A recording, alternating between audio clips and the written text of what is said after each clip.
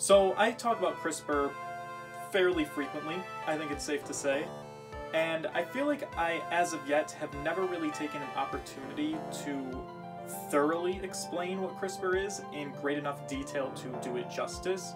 And so that's kind of what I'm hoping to do now, actually. Uh, as CRISPR is showing up in the mainstream news more and more frequently, I think there are benefits that would come with having a greater understanding of what precisely the technology is, where it originates from, and how we use it.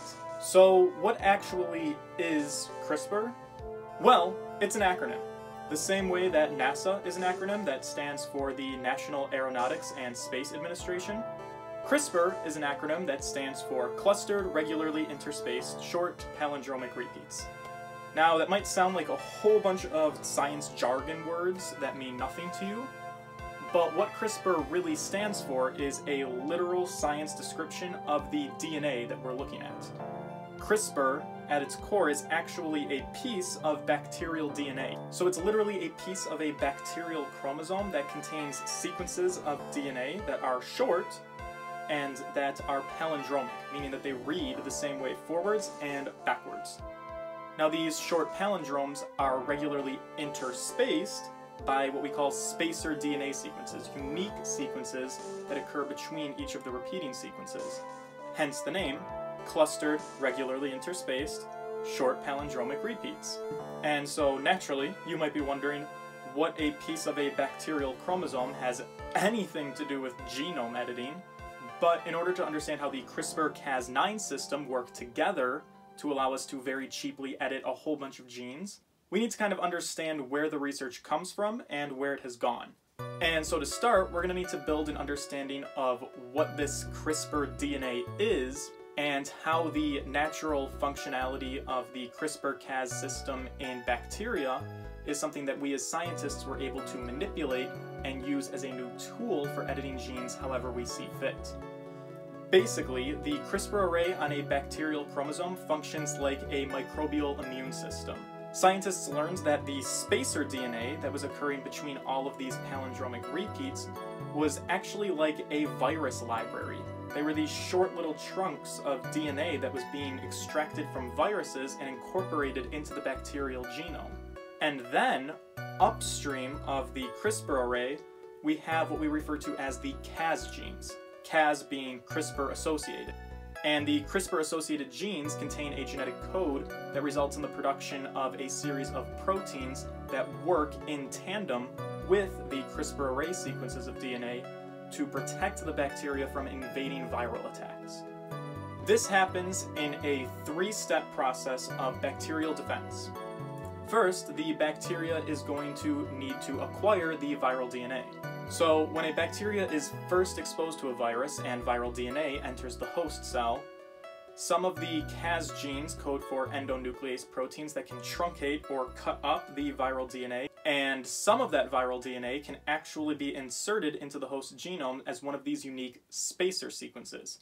Now, once this small little piece of viral DNA has been inserted into the bacterial CRISPR array, it acts as a sort of memory bank. It allows the bacteria to have a piece of that DNA to recognize the virus if it were ever to be exposed to that virus again.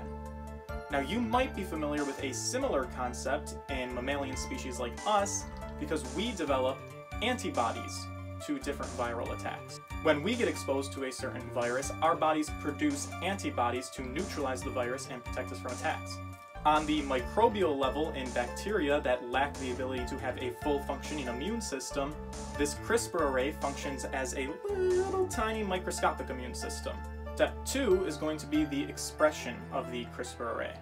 Once that viral DNA is integrated as one of these spacer sequences between the palindromic repeats of a bacterial CRISPR array, the bacteria can then transcribe the entire CRISPR array and form what we call a pre-CRISPR RNA strand.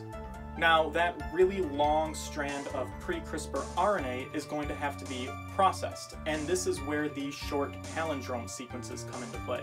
The CRISPR-associated or Cas genes produce some proteins that are designed specifically to recognize those palindromic repeats as cleavage sites. These endonuclease proteins can target those repeating segments of the pre-CRISPR RNA, and when they see it, they will bind to that strand of pre-CRISPR RNA and create a cut. So these endonuclease proteins are literally targeted to chop up the pre-CRISPR RNA at all of the palindromic repeats, and doing that is going to make a whole bunch of strands of CRISPR RNA, each one containing a unique spacer DNA sequence. And this is going to bring us to step three, interference. The processed CRISPR RNA is now going to consist of a bunch of individualized CRISPR RNA strands each one with a unique spacer sequence. Now recall that these spacer sequences are actually these stored memory banks of viral DNA that has been converted into the CRISPR RNA, which means that these spacer sequences are going to match up perfectly to these specific viruses from which they originated. So at this point, the CRISPR-associated genes, or Cas genes, are going to produce even more Cas endonuclease proteins and these Cas endonuclease proteins are actually going to combine with the CRISPR RNA sequence, forming a CRISPR ribonucleoprotein complex. A big fancy science word for saying a protein that is also mixed with a little bit of CRISPR RNA.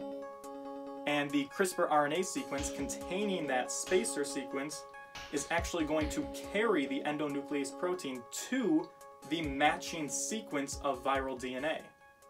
So you might be starting to follow the logic train here. If a virus is attacking the cell, and the cell has already been exposed to that virus before, the CRISPR RNA sequence will exist in the bacterial genome. That CRISPR RNA sequence is going to bind to a Cas protein and carry that Cas protein to the viral DNA that's infecting the host, and then the Cas protein can cut up and destroy the viral DNA, preventing an infection. Now this CRISPR system of bacterial chromosomes that contains spacer DNA sequences and Cas proteins that can work together to target and degrade viral DNA has been known about for some time.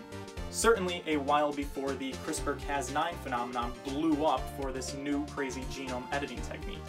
So to understand how we are going from this microbial makeshift immune system inside of bacteria to a powerful, cheap genome editing technique we're going to need to focus specifically on the Doudna's lab discovery of the Cas9 protein in Streptococcus pyogenes and how that specific Cas protein was ideally suited for this genome engineering tool.